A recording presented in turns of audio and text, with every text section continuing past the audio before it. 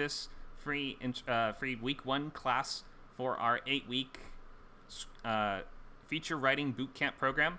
Uh, my name is Conor, and uh, if you weren't here for the first half of this, we're going over loglines and giving feedback to loglines so the, the rest of the students can be working on this throughout the rest of the class, and they can post an updated one at the end if they want to. After this, we're going to do um, lecture slides on premise and why we choose the stories we're choosing, and then we'll return for more feedback at the end. Excuse me. All right, let's um, see what we have next. Um, one second.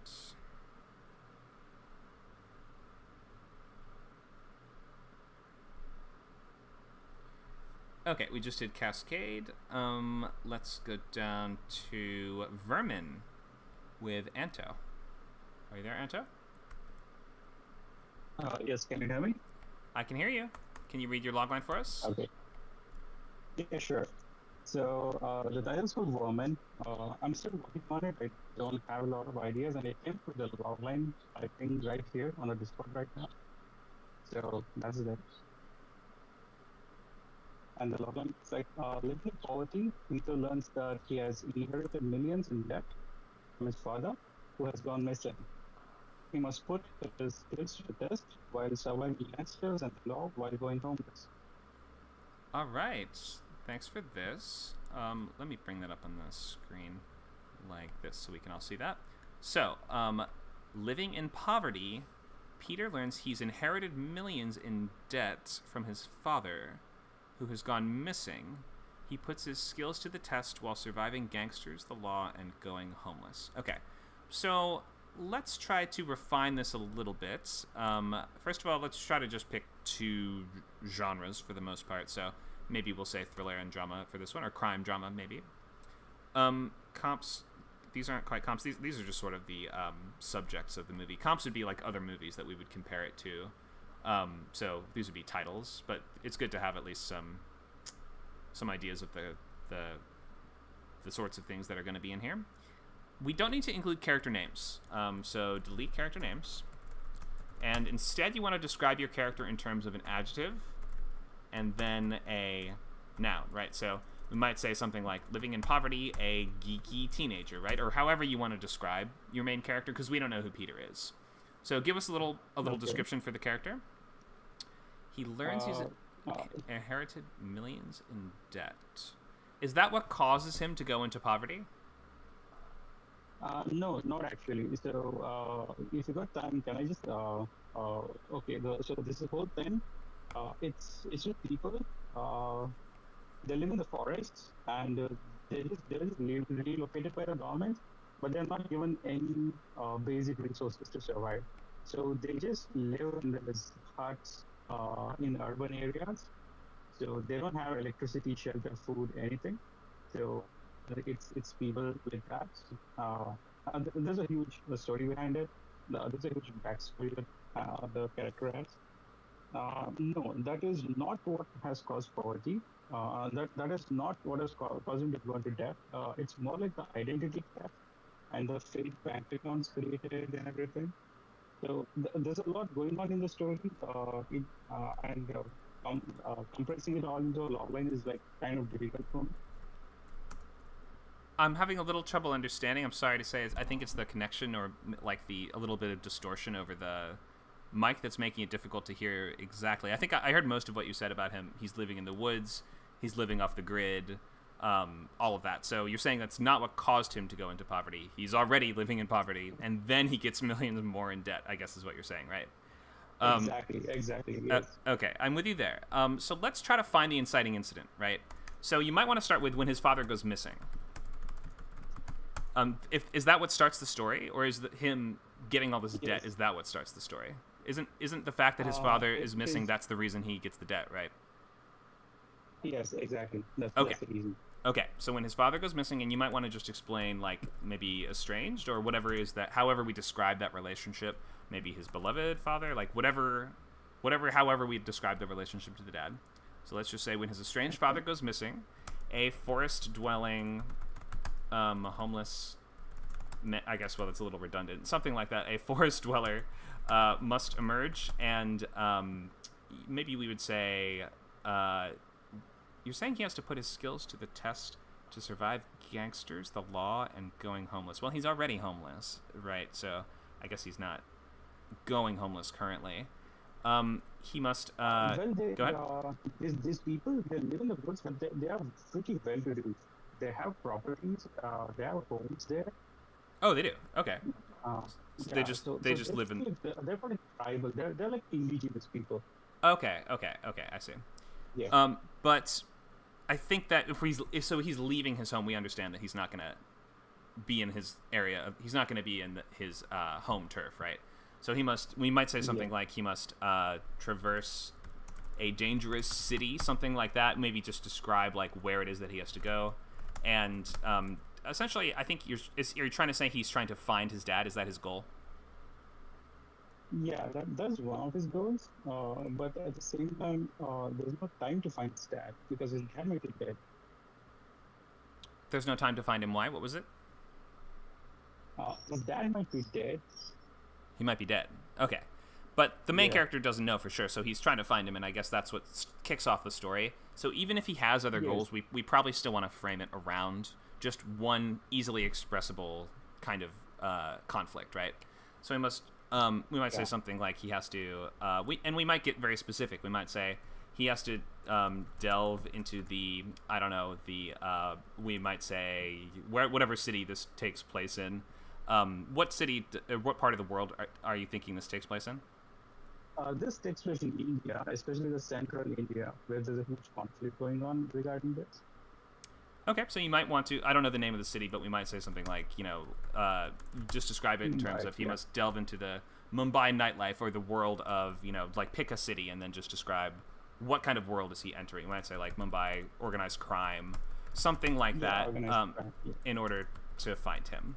And try to keep it simple, just one sentence. I like that you mentioned he's has to. You're giving a, a, a couple examples of obstacles, gangsters, the law, things like that. But we can sort of imply that um, and uh, still have a really effective logline. So put the inciting incident first. Make sure that we know what's kicking the story off. So when his father goes missing, this guy who lives in a rural, off the grid area has to go into the big city to find him. That's the movie, right?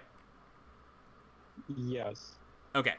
So I would tr- yeah try to write it in these some terms kind of like this. You don't you don't have to use the exact words or wording that I'm using here, but um and obviously Okay. pi pick your own specifics in terms of the city and the relationship and all of that.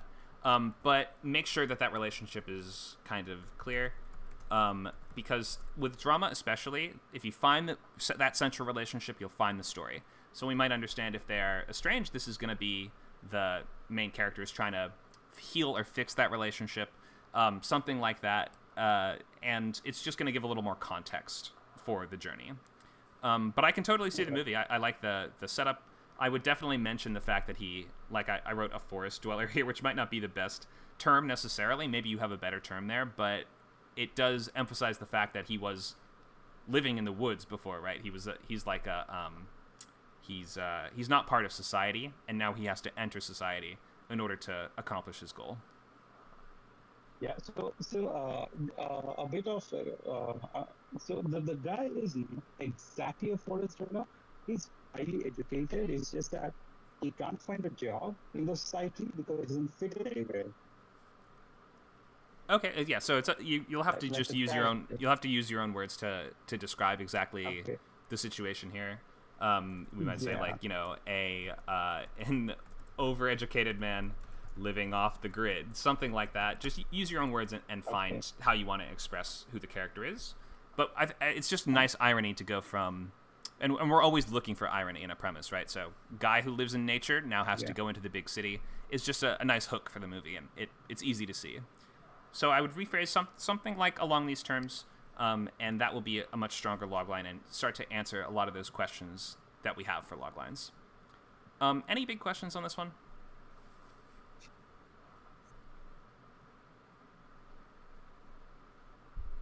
All right, thank you for this. Looking forward to seeing right, more of that. Thank you. Right. Looks like we have one more to do, and then we'll go to. Or do we have two more? I think we have two. All right, let's go to Carmen with Gods of Sutter Streets, horror comedy, one of my favorite genres.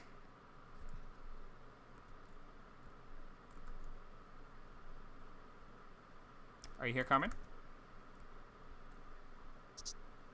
Yeah. Can you read this for us? When a skeptical ghost tour guide becomes a primary suspect in a series of ritual killings, he must put a stop to the human sacrificing Aztec cultists threatening to bring about an era ending earthquake. All right. Oh, missing Go ahead. Am I? Am I missing stakes? No, era-ending earthquake sounds Oh. like pretty big stakes. uh, Okay, so this is ahead. a true story. I mean, it's not like it's a true story in the world of the Aztec believing peoples of the world. You know what I mean? you mean this is a Like, it's piece a- of folklore that exists, right? Okay, I see what you mean. When you said this is a true story, I was like, "This uh, really? This happened? I don't know, Carmen." But but you mean this is a, an existing? You're you're working with folklore, world folklore, is what you're saying. Um, that's fine. Yes. Okay, Th- that's all good. So Let's I haven't. go ahead. I came up with um, a lot of the beats already. Um, it looks like a full list of bullet points, and then going into some scene cards as well. hmm Um, but I don't know how solid it really is because I haven't looked at it in a long time, you know, Mhm. and I haven't really thought about it that much either in in a while. So, but I can see the beginning of the movie Mhm. and um, that kind of sets the stage for what's going to happen. And so the whole thing of him being, I know that this isn't really a flaw, but part of his flaw, which is part of the conflict, the central, um, well, not really the central conflict. I don't know. I might not know what I'm talking about, but um, he, you know, he's having an estranged relationship with the father because he was accepted into a a university, and because he struggles with um, a severe form of dyslexia, Okay. he turned down the acceptance into the school and became the ghost tour guide. And so there's that little bit of um, of the irony, you know, for um, he's going to use the Aztec calendar to put a stop to this um, to this plan. I don't have this whole thing figured out yet. That's okay. Um, This is looking really you good. know. um, a lot of the the the the fundamentals are here. When a skeptical ghost tour guide becomes a primary suspect in a series of ritual killings, the only thing that I added was he discovers that a human sacrificing Aztec cult is responsible and must stop them from bringing about an era-ending earthquake. I think there was just that sort of middle step um, that was missing here because you sort of are framing this as two separate sets of stakes. The first one being guy needs to clear his name from murder, and then it escalates to the point of, oh, I discovered that the murderers are actually doing the murders to end the world, and so now since I'm the only one that knows about that, I need to stop them. So I think we need to add the part where he discovers that the cult is responsible.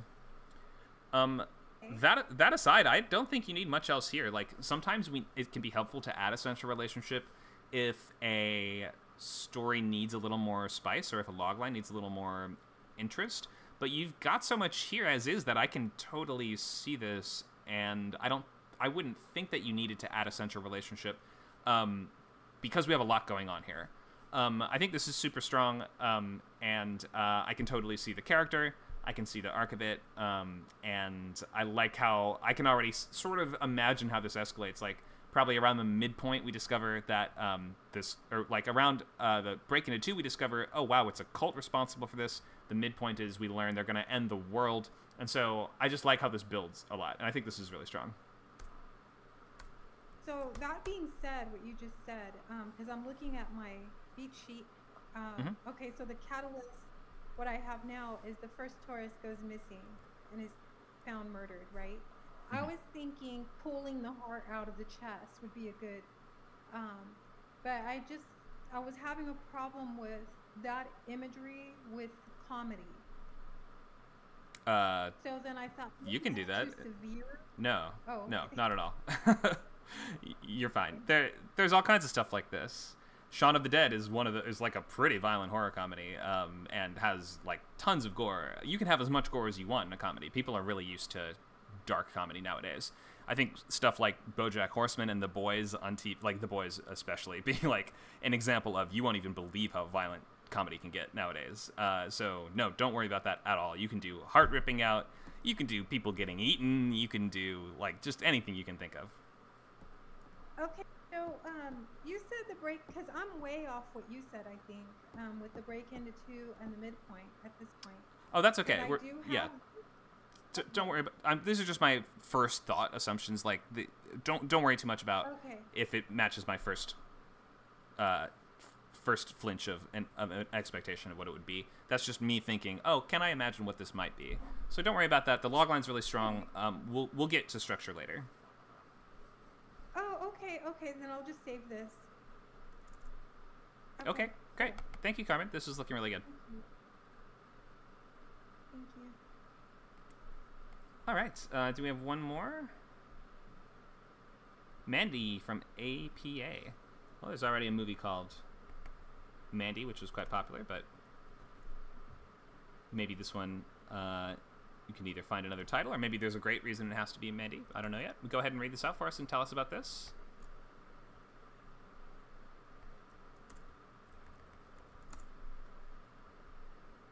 Are you here, APA?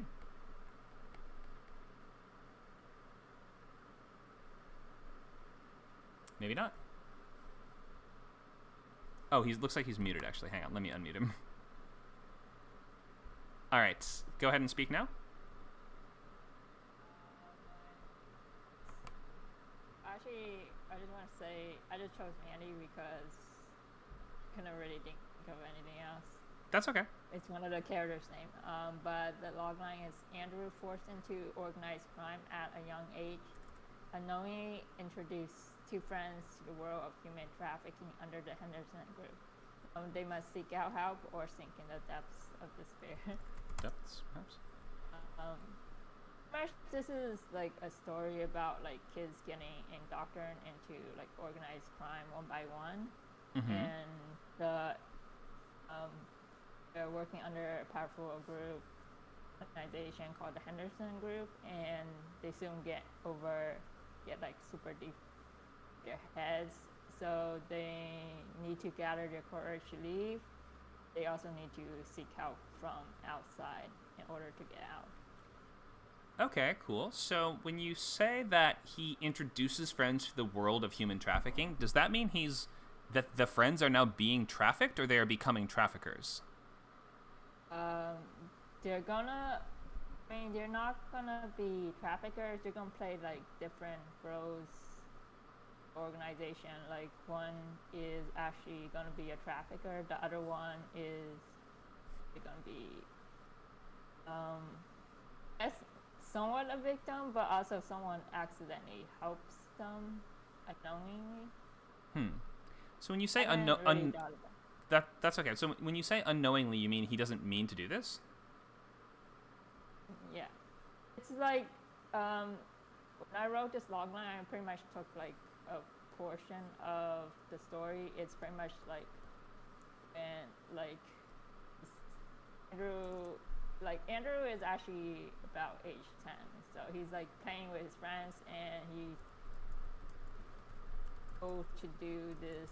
Like he's a hitman, and he's told to do this job, and he brought his friends along and they found a dead body and they meet a member of this organization and then um, the organization recruits the other kids and then the story progresses from there Okay, so I think that we may not need this line here about how he's. Well, first of all, we don't need character names. No one's going to remember the character name or organization names, so it's just confusing to have them. We want to describe the characters in terms of adjective, noun. So I'm not sure that we would need to say forced into crime at a young age. We might say something like a reluctant hitman or something like that. What, how, don't don't feel that you have to use these exact words, but just you'll want to describe the character in terms like that, right? Just adjective, noun. Um, so I think you're saying he, uh, he sort of gets his friends involved in human trafficking, um, accidentally gets his friends. But so are, let me just clarify this: Do they want to be working there, or do they not? are, are they sort of forced to work in this organization? Um, one of them wants to work there. The other, like, because he saw something that he really wants to do. The other one then does not at all. Okay, so it might be something like when a reluctant hitman's, you know, best friend, and maybe you want to just pick the person who does not want to be involved, and have just frame it a little bit more about that relationship rather than trying to include both of them if they both have very different things going on. Um, we might say something like when a reluctant or hitman's uh, whatever it is, when a reluctant criminal's best friend gets um, you know forced into the world of human trafficking he must do what? Rescue his friends or find a way to get them out of the situation, is that right? Um, he must. I mean, I want to do it at the rescue, but also I want to to seek outside help because I want to be a lesson to like people who um really see human trafficking and they are willing to like just extend some help to get someone out. Okay, I can see that. It's a, it's a little bit nuanced for a logline, though. We can kind of express that in a phrase, something like he has to find a way to save them before bad thing happens, right? So we could say he must find a way to save him or her before they get sold overseas, or something like that. Um, whatever the stakes or the ticking clock are, that's what you'll just want to um, include here as well sink into the depths of despair just sounds a little bit internal and maybe not like it wouldn't quite belong into a logline. We want to be a little bit more concrete and tangible with the stakes. So before they get killed, before they get sold, before he loses them forever, something like that. Um, and I think that all of that will do a lot of work to simplifying this and making this really clear. I couldn't think of an ending that's oh, you don't have to have an ending. That, that's okay. So the in a log line, you don't go all the way through to the end. We just go about ha- to the halfway mark, right? So he has to find a way to save them before blank, before they get sold, and that would sort of allow the reader to imagine like the second half of the movie, more or less. You don't have to take us all the way through to the end.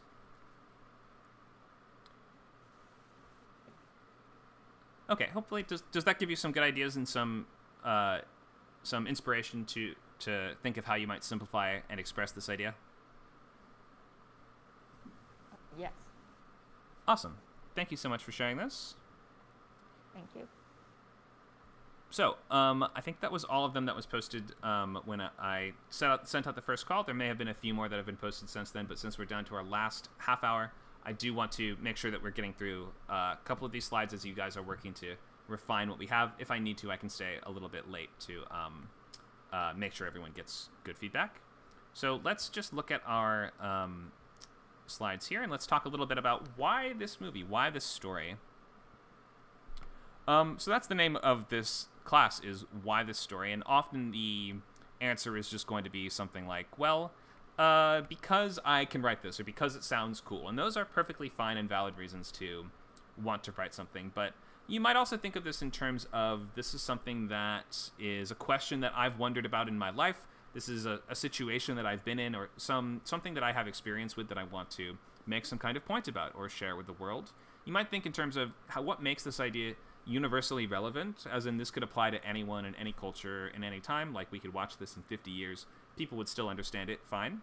Um, or they could watch it, you know, 100 years in the past, and not everything would make sense, but the basics of it would. That's what we're usually looking for And a really solid feature film premise is something that feels relatable and that we understand what the character wants because they want some version of something that we ourselves want, right? And by just making stories about those things that we all want and that matter to all of us, things like love, life and death, friends, family, you know, success, revenge, riches, greed, like these things that are sort of built into human nature, it can always it will always be sort of universally relevant in some way because it's about people struggling with the things that makes them human. But then you might ask yourself also this question: What makes this relevant today? And we've had some we've had some great log lines in class today that revolve around things like the modern day human trafficking trade, or um, you know, uh, people who live off the grid who might have to interact with society, things like that that are especially relevant today that you might think if I can include some piece of that too, then this will start to feel really well rounded as a premise. The idea that your story might touch on topics which have come to prominence in the news or in day to day life just nowadays, or it's something that just feels like it is relevant. And in the best case scenario, your, te- your story might take a topic which is relevant recently and use that, in fact, as the backdrop or key component of a more universal idea. So we have a story about people, you know, living off the grid, and we have a story about someone trying to find a missing his missing father. Those c- together can easily be both universally relevant and relevant now. So maybe just in your sketchbook, start thinking of ideas. How does this touch on both of these concepts, and how can I think to either make it more universally relevant or make it more relevant today. If it's not universally relevant enough, then your character, chances are, they want something that the audience can't really relate to wanting. Um, and that could be a problem. Like, ask yourself, does everybody want some version of that thing? And if so, you may have to just carefully express what that thing is. Relevant today, you may have to just mm, go out in the world and think about what's happening now. It doesn't have to always be tied to something in the news, but maybe just be thinking of why is this particularly something that people need to see or some point that I'd like to make today? It's okay if you don't have a perfect answer for this, and not every movie needs to be some amazing combination of, of relevant ideas, but it can help and it can just help guide your construction of premises if you're thinking of what what would be something that in in 100 years would be relevant but is also relevant right now. Um, this is something that came a lot, up a lot when I was pitching on uh, the Twilight Zone. I pitched on the CBS Twilight Zone reboot, and I wrote the Twilight Zone VR game uh, pitch documents, and this was something I talked about quite frequently in that process.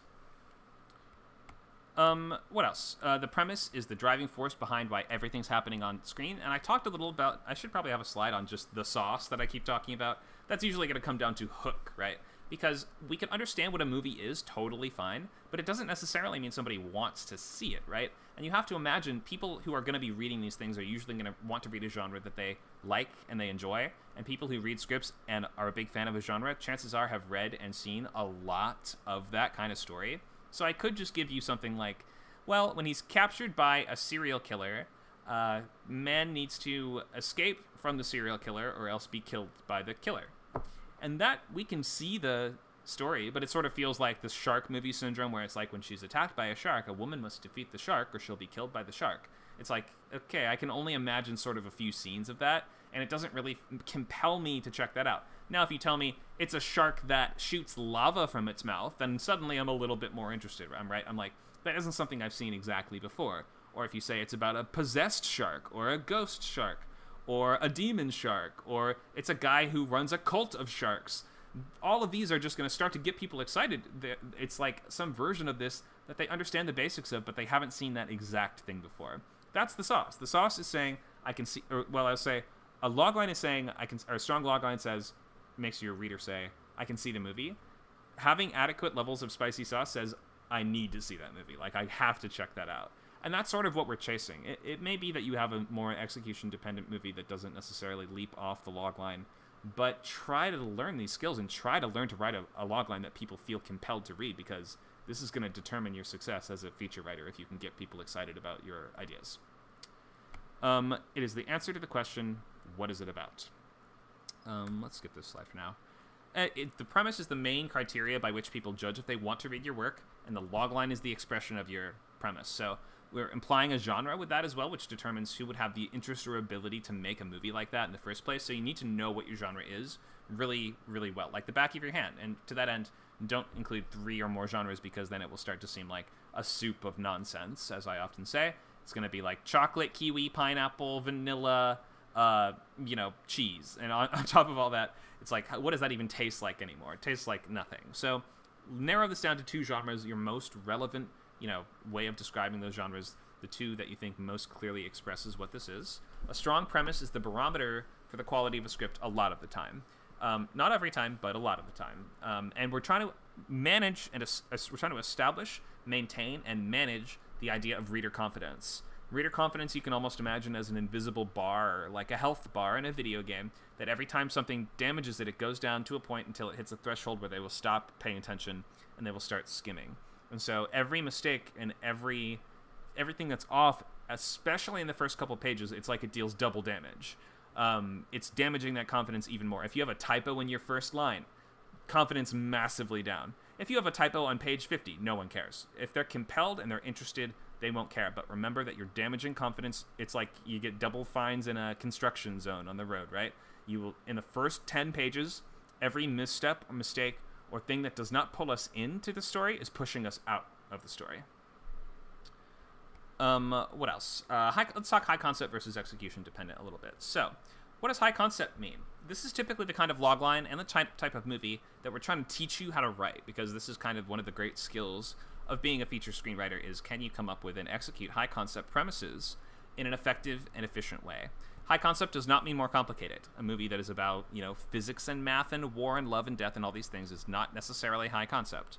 It doesn't have anything to do with the genre or the budget or the subject matter. You can have a high concept movie that is a single location comedy, or you can have a, a high concept movie that is a you know galaxy spanning giant epic adventure. It is a self contained and engaging premise with broad appeal. Usually it's going to be pretty simply as expressed as this thing meets that thing, not every single time. But it's going to be something we can just say in one sentence, and somebody will say, Oh, that sounds interesting. That sounds like it delivers on the emotional experience that you're offering it will bloom in the mind to suggest a conflict, a structure, and the whole thing. We can say, look at this movie Liar Liar from this is you know the kind of from the 90s, which was the the heyday of the high concept spec sale. What is this about? Oh, Jim Carrey plays a kind of a jerk lawyer. He gets cursed so that he can't lie for one day. And with just that one idea, we can start to imagine all the different conflicts that would result from the from the idea of a, a lawyer who lies all the time now cannot lie. So we can start to see situations in which, because of this curse, he is getting into lots and lots of trouble. He is losing his court cases because he can't use his normal tactics. He's forced to sort of tell the truth and grow as a person and become the kind of guy that doesn't need to lie anymore, the guy that's not a liar anymore. I can see the entire character journey. I can see the entire thing. And I know I've seen this movie many times. It's very good. But even if I hadn't, just that one sentence and just the the basics of that premise would tell me, oh, this is a solid concept. This is something that I want to see. Something else, we have Shanghai Noon, one of my favorite movies. Uh, it's this meets that. We have Kung Fu Guy in the Wild West. Shanghai Noon. There's the title expresses the irony or the the juxtaposition of the premise perfectly. We have a fish out of water scenario where a kung fu guy um, who is you know Jackie Chan's character is a Royal Imperial Guard in um, the 1800s who hit, when the princess gets kidnapped that he's supposed to protect, he has to go to America to the Wild West to save her, and he teams up with a kind of uh, an arrogant, wacky cowboy to do it. Um, so that's a really simple idea. Kung Fu Guy goes to the Old West to rescue the princess.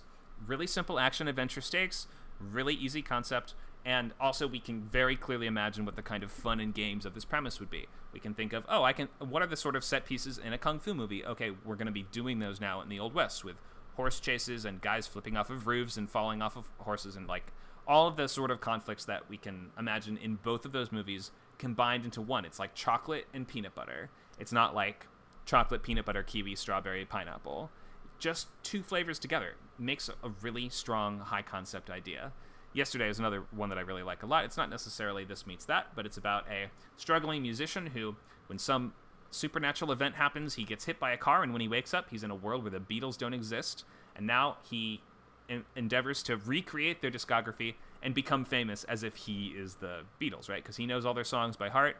He's the biggest fan, and so now he's going to invent the Beatles music and become a celebrity. This super wish fulfillment-y kind of fantasy um, and also really, really clear kinds of fun and games that we'd see in this because we can imagine just a regular dude. Um, he's becoming a celebrity overnight, basically, because he has access to these songs that no one remembers exists anymore. So I can very clearly see the trajectory of the character. He's becoming richer. He's losing touch with his old friends. He has to decide: does fame is fame more important than what he really wants? Is it going to stop him from getting what he wants? I can just see the whole thing. So I hope this is clear, like what high concept is, and maybe we can look at the opposite to sort of get a sense of what uh, what is not high concept, and this will tell us. Maybe this will clarify what high concept is by seeing its opposite. I guess I should say. So execution dependent is going to rely on complex character study, maybe cinematography, choreography, or anything else that would just relate to the making of that movie.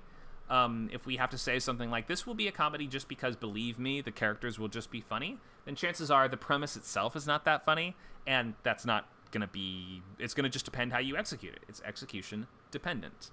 Um, maybe it will be good maybe not but it's rare that somebody will request to read an execution a super execution dependent logline um, unless you're paying them to. Like this is not the kind of thing that uh, usually gets people as excited as a high concept logline just in the hollywood kind of world if you can make that movie yourself like whiplash is, is a fantastic movie and it was made you know funded by making a short film first to sort of prove that it worked um, and the filmmaker pioneered it himself and he really did the work of convincing us that this would be a really riveting story. But the logline itself probably would not have sold this which it becomes clear to then why he had to make a short film to express how this would be so intense it's about a guy who wants to be a jazz drummer. He's got a mean teacher. Does that sound like a super compelling drama? Not really, but the movie totally sells us on it, and it's it depended on the execution. The execution was excellent, so the movie was excellent. But this would probably not like get people super psyched to read it, um, unless you were already a well-respected screenwriter like he was. Um, sci-fi or fantasy or really intangible types of goals or stakes, where something like a princess must destroy an obelisk to defeat a warlord's forces just starts to feel a little bit um, it, it, it, depending on how you phrase it it can just be hard to picture or hard to wrap our head around. Like he's trying to save the crystal subsector. It's like we don't know what that is. Is that his home? Is that like a bunch of planets? Is that like a kingdom? What is that exactly? So try not to use these terms when possible that only make sense in the in terms of your story. Um, anything with just this essential but really difficult to convey style or world. Like john wick is a great example of this. It just sounds like a right down the middle really kind of average hitman revenge story um, and watching it you'll see it's not really. It feels cooler than most of them. It feels more stylish. The choreography is awesome. The cinematography is awesome. The, the keanu is great. Like it, the movie's great because all those things are great but from just a logline it comes across as a bit more execution dependent, which is still sold as a spec. It should tell you that it's not an absolute death sentence to be writing something execution dependent, but it will come with a lot of challenges. And when possible, try to focus on learning to write high concept ideas. But then again, if you're just starting out, don't get too fixated on this. Don't get let this trip you up too much. Just focus on staying excited for your work, working on it consistently and keeping your momentum high so that you finish on the time frame that you set out for yourself. You want to be writing outlines that you can stick to and finishing them and finishing this, the scripts within the, the time frame that you set out for yourself. Eight to twelve weeks usually. Eight weeks for this uh, for this boot camp. All right. Um, so uh, let me check how much time we have. We have 15 minutes. Um, I think I have one or two log lines I did not get to from before. You can also post if you updated yours and you have a. Uh, I can sort of give you the thumbs up and go ahead. Go, feel free to post that. I'm going to do like one more slide, so post it while I'm talking, and then I'll come back and for our last 10 minutes, I will get to all the log lines that you guys have shared or the ones that I've missed from before. Okay, last couple things. What else do we want to know? Comps are this meets that. Comps, it's kind of dumb to pick these for the most part, but managers really like these. People in the industry use these all the time with comps, you're going to pick two movies, um, at least, or at least one of them should be a movie. One of them can be a TV show or a play or a book or a game or something like that. If it is, if it clarifies what you're doing, right? I mean, we could often think of this in terms of what is the world of the first thing, but with the style or the approach of the second thing. You don't always have to use that, but um, it helps. You typically want to be thinking of things that people will know. You're not going to earn bonus points by the audience not having heard of your comps. So if you pick something that's like an obscure French art house movie as one of your comparative titles, and your reader's like, I just don't know what that is, it doesn't. They're not going to be excited to go look it up. They're going to be less likely to read the scripts. Um, what else about comps? Uh, don't pick trendy things that are way over comped in the genre if you can help it. But if you're just starting, don't worry too much about that. Just don't just try not to be too obscure. Don't try. This is not a great opportunity to show off. This is an opportunity to convey what is the world of this and what is the style of this more than anything else. Um, let's look at sketchbook stuff um, quickly before uh, we go into logline portion. So Um, sketchbook, I think we've all hopefully made by now, and you guys have started to fill out. There's no right or wrong things to include in these, but this is just a place to collect your notes and sketches and ideas, all um, for your story before you begin, and all throughout the writing process. You'll always be coming back to this, fleshing this out, writing ideas for moments from the story or characters in the story, snippets of dialogue, research for the setting and the world, pictures, links to videos, drawings, or anything that just inspires your writing. Titles, don't worry way too much about that right now, but it's often going to be the last piece of a high concept premise. It explains why the premise is ironic or hooky, or I should say, a, good title clarifies the hook. It's a tool to get someone to read the work, so I would typically try to pick a title that um, the audience can uh, easily remember.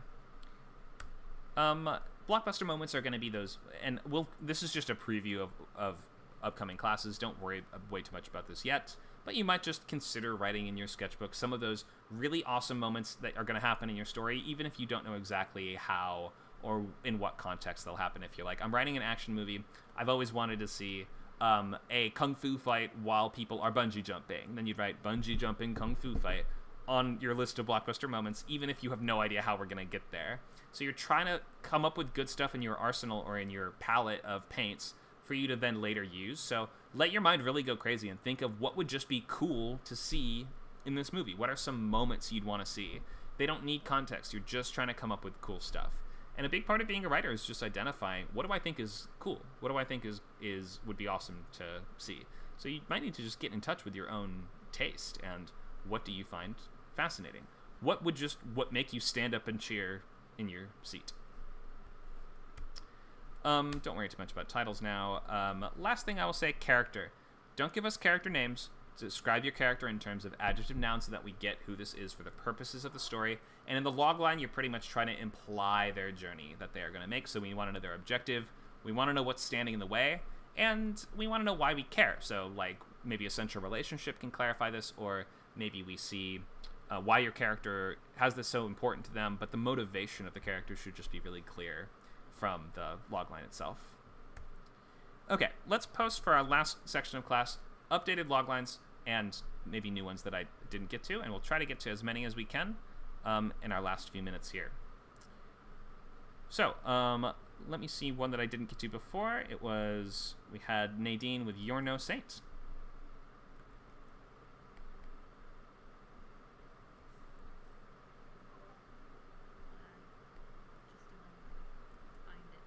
Okay.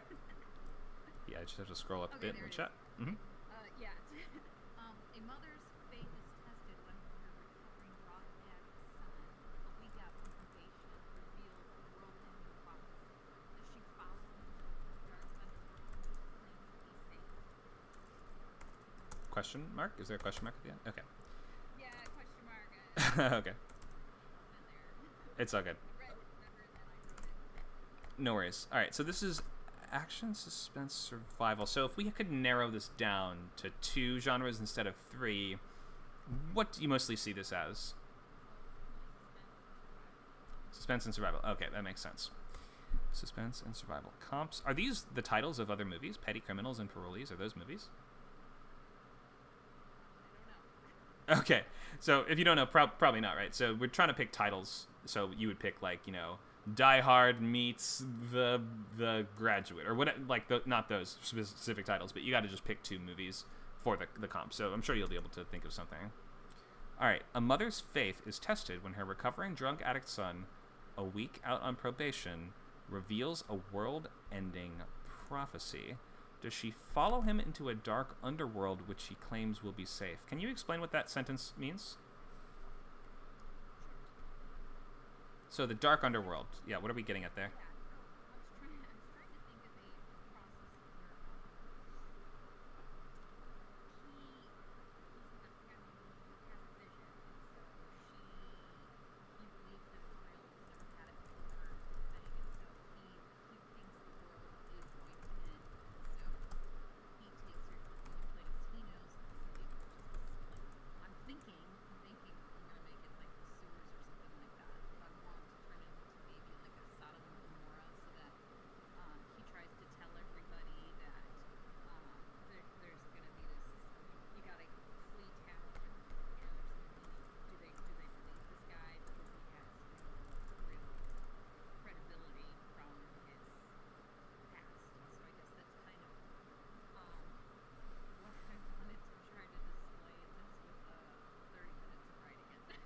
That's okay.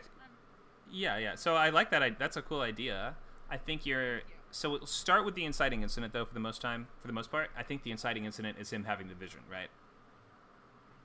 So when her son has an apocalyptic vision, a adjective mother. So we want to describe the character, right?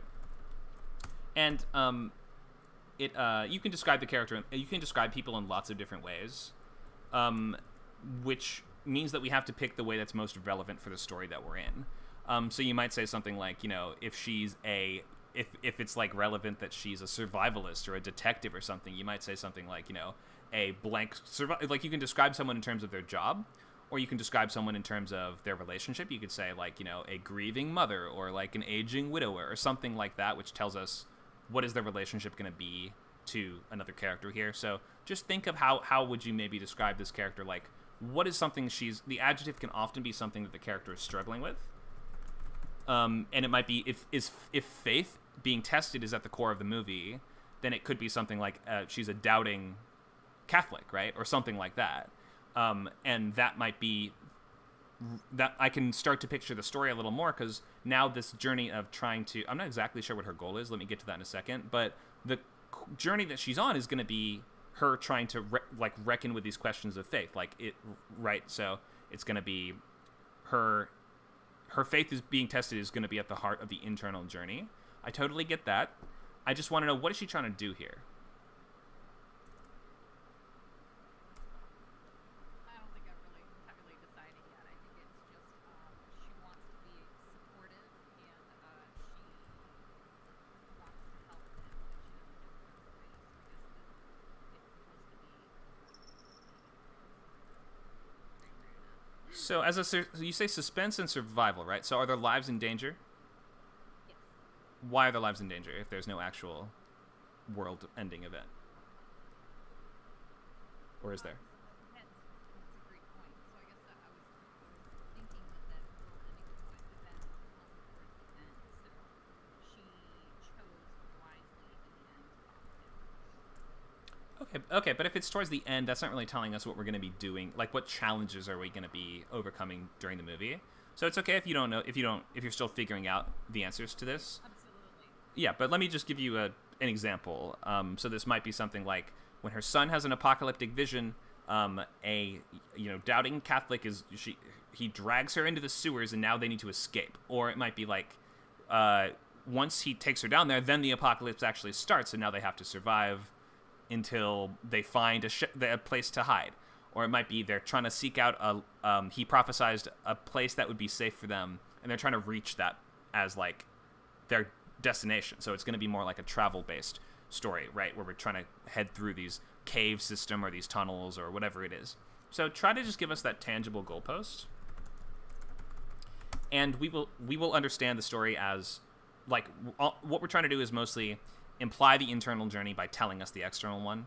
So we'll totally get all that stuff about faith and overcoming, you know, um, the her her doubts or, or whatever it is, or like, I guess, questioning is this stuff real? Should I be doing this? All of this stuff, we we totally get that, but we'll need the external specifics first, like the concrete specifics of what is the character trying to do, what's standing in the way, and if you're telling us suspense and survival, that stuff should really be at the forefront. So we should we should not leave wondering, wait, why are they in danger, right?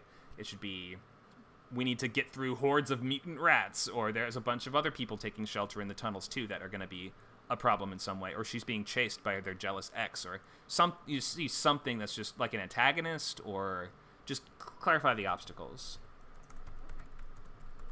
But this sounds cool. I like the I like the basics of this. You should maybe check out a movie called Take Shelter, which is a drama with Michael Shannon from um, like 2012 or 13, I think. Um, it's not it's not exactly like this, but it um, just involves you know characters predicting the end times and stuff, and it's just a really good drama. And maybe it could be one of your comps.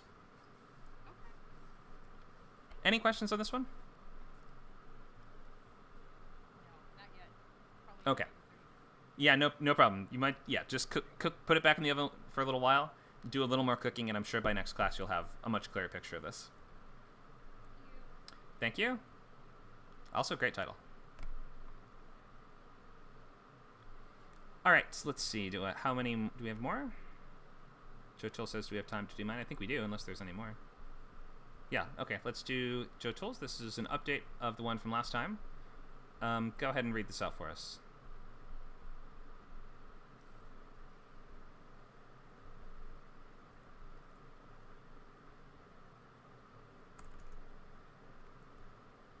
Are you there, Joe? I'm seeing your mic unmuting, I'm just not hearing voice. Might need to reconnect. Oh, I hear you now. Go ahead. Sorry guys, I'm not excited. All good? Um, yeah, I mean it's an update, not necessarily an upgrade, so we'll see. Okay. Um, uh, I'll just read all of it. Fuck it. Mm-hmm. Um, rumored to be a lead suspect after his favorite painting goes missing on his watch. An obsessed, socially anxious security guard must use the contents of a mysterious suitcase and the help of a naive actress to slowly build his social status, to interrogate his suspicious co-workers, and retrieve the artwork before it is replaced by a potential new artist himself. There's a lot there. Yeah, there's a lot here. Um, the first half of this, I think, is quite strong. I love the idea that he used to use the contents of a mysterious suitcase. That's some secret sauce. That's what that's what's gonna bring people in and go, oh, okay, now I'm interested. Um, but then the second half of this gets kind of complicated and a little bit intangible. Build his social status to interrogate his. So I would lose the part about building his status. That might sort of be implied in the. That's kind of the whole point of the movie, though, which is kind of why I'm struggling to not put it there. Like the only thing I can think of to like explain it is it's like he wants to be. His whole thing is he wants to be an artist, he wishes he could be an artist. He's remaining a security guard so he can sort of like be in that environment without having to like commit to it. The idea is like he's like about to get like fired. He's about to get kicked out of home. So he finds this like suitcase and he takes it home because he's gonna like use it to put all his clothes in and like leave. He's prepared to like have to move out essentially. And then after this painting goes missing, like it really like seals the deal for him. He thinks like he's fucked, and so he opens he opens his suitcase like right as he thinks he has to leave to like put it in his money and, and so his whole attitude sort of changes and so he like tries to use this money uh, to sort of um, he tries to use this money and he tries to use the help of this actress to sort of like rebuild an appearance and an act of competence so that he can sort of like interrogate these people slowly but surely. But really the whole story is about him sort of trying to gain acceptance from these people. Like he's motivated to try to be an artist so that he can get people to admire him. Same way he wants to sort of use all the contents of this of this suitcase. Um, he just wants someone to like just pay attention to him essentially. And so like don't know how to imply that without losing I don't know. I I put I put as much as I possibly could in it just so you to try to like give as much information to see what could be reduced. Mhm. I think the basics of of- this sound to me something like after the painting goes missing on his watch, an obsessed, socially anxious security guard, which is a good way of describing him, must use the contents of a mysterious suitcase and the help of a naive actress to find it. Um, everything Yeah. besides that just kind of makes that maybe I think there could be more going on in the script, but for the purposes of a log line, we just need to get it as simple as possible. Okay. Yeah, because I, I yeah I did notice it was convoluted in it a little bit, but I did I did. The only reason I think I put it in there was because I wasn't sure whether or not the idea of him. I like the, the fact that he wants to get this painting. He wants to paint a painting to to put in this gallery. Like that's his whole desire. So he's simultaneously trying to like bring back his coping mechanism, and comfort zone, whilst trying to replace it. And so I just wasn't sure if that sort of like confusion would be something that would be worth putting into like add it just seems like it's adding confusion to the audience as opposed to Yeah, I, I would leave it out. I think it's just it's um, it doesn't sound essential to a log line. It might be nuanced for the script, but in terms of a log line, we just need the bare essential elements. Um, so we have main character, we have the situation he's in, we have the flaw he's struggling with, we have a central relationship. I think it's all pretty much in in this version here. Um, I can copy and paste this in the chat, and you don't have to use this if you don't want to. But this would just be my recommendation to reduce it to something as simple as this. Sure, and that's not I, I can't actually didn't see what you wrote, sorry. Oh, I read paste. them It's in the chat. Okay, cool. And this is something you think is perfectly acceptable as it? Or... Um, yeah. Well, I mean, after his favorite painting goes missing on his watch, he must use the contents of a mysterious suitcase. Um, yeah, that works for me. Alright, cool. Play around with it. Yeah, play around with it a little more, adjust it as needed. But um, I think we had about twice as many words as we as we needed. So try to just cut down on words, make it like one simple, clear conflict right at the heart of it. Even if there's more going on, we can get to that in the script. Just we're trying to bring people in and get them to read this, and they're probably going to do that if they understand what the movie is and and just like the very basics. Okay, cool. So, do you, uh,